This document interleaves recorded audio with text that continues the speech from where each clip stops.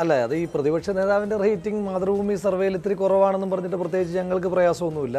പ്രതിപക്ഷത്തിന്റെ റേറ്റിംഗിനെ പറ്റി കേരളത്തിലെ ജനങ്ങൾക്ക് നല്ല ബോധ്യമുണ്ട്. ഇവിടെ ശ്രീ റഹീം സൂചിപ്പിച്ച ഒന്ന് രണ്ട് വിഷയങ്ങളിലേക്ക് ഞാൻ പറയുവാൻ ആഗ്രഹിക്കുന്നു.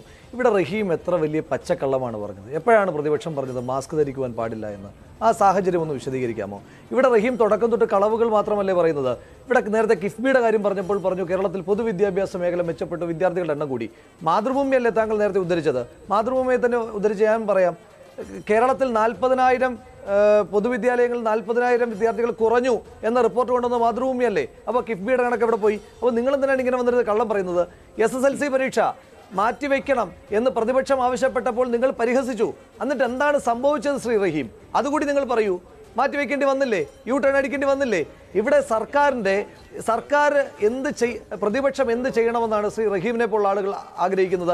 ഇവിടെ ഒന്നാമത്തെ പ്രളയം. പ്രളയത്തെ പറ്റി പറഞ്ഞപ്പോൾ ഡാമുകൾ തുറന്നുവിട്ട് പത്തനംതിട്ട ജില്ലക്കാരനാണ് ഞാൻ. പത്തനംതിട്ട ജില്ലയിൽ മനുഷ്യനിർമ്മിതമായ ഒരു പ്രളയം ഉണ്ടാക്കിയിട്ട് എന്നിട്ട് പോലും ആ പ്രളയ കാലഘട്ടത്തിൽ ഈ സർക്കാരിനെ വിമർശിക്കാതെ മുഖ്യമന്ത്രിക്കൊപ്പം ഹെലികോപ്റ്ററിൽ പോയി ദുരന്ത പ്രദേശങ്ങൾ സന്ദർശിച്ചയാളാണ് പ്രതിപക്ഷ നേതാവ്.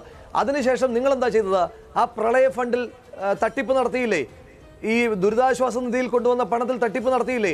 നിങ്ങൾ സാലറി ചലഞ്ച് ഒരു വശത്തോടെ നടത്തുമ്പോൾ സർക്കാർ മറുവശത്തോടെ ദൂർത്ത് നടത്തുന്നില്ലേ? ഇതൊക്കെ ചോദ്യം ചെയ്യേണ്ടുന്ന ഉത്തരവാദിത്വം പ്രതിപക്ഷത്തിനല്ലേ? നിങ്ങൾ ബ്രൂവറി നടത്തുമ്പോൾ ഞങ്ങൾ ചോദ്യം ചെയ്യുവാൻ പാടില്ലേ? നിങ്ങൾ പമ്പയിൽ മണൽ കടത്തുമ്പോൾ ഞങ്ങൾ ചോദ്യം ചെയ്യുവാൻ പാടില്ലേ? ഈ കോവിഡിന്റെ കാലഘട്ടത്തെ പറ്റി താങ്കൾ പറഞ്ഞു. ഇവിടെ കോവിഡ് മാതൃകാപരമായ പ്രവർത്തനങ്ങളാണ് പോലും. ഇന്ന് താങ്കൾ രാജസ്ഥാനെ പരാമർശിച്ചല്ലോ. രാജസ്ഥാനിലാണോ ദൈനംദിന രോഗികളുടെ എണ്ണം കൂടുതൽ? കേരളത്തിലാണോ? താങ്കൾ തന്നെ പറയൂ.